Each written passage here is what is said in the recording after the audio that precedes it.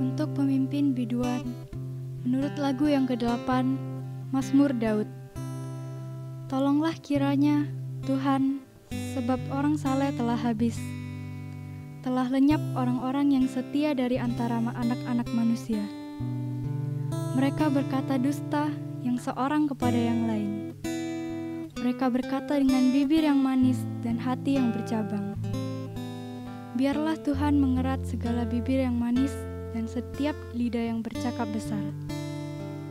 Dari mereka yang berkata dengan lidah kami, kami menang. Bibir yang menyokong kami, siapakah Tuhan atas kami? Oleh karena penindasan terhadap orang-orang yang lemah, oleh karena keluhan orang-orang miskin, sekarang juga aku bangkit. Firman Tuhan, aku memberi keselamatan kepada orang yang menghauskannya. Janji Tuhan adalah janji yang murni, bagaikan perak yang teruji, tujuh kali dimurnikan dalam dapur peleburan di tanah. Engkau Tuhan yang akan menepatinya. Engkau akan menjaga kami senantiasa terhadap angkatan ini. Orang-orang fasik berjalan ke mana-mana, sementara kebusukan muncul di antara anak-anak manusia.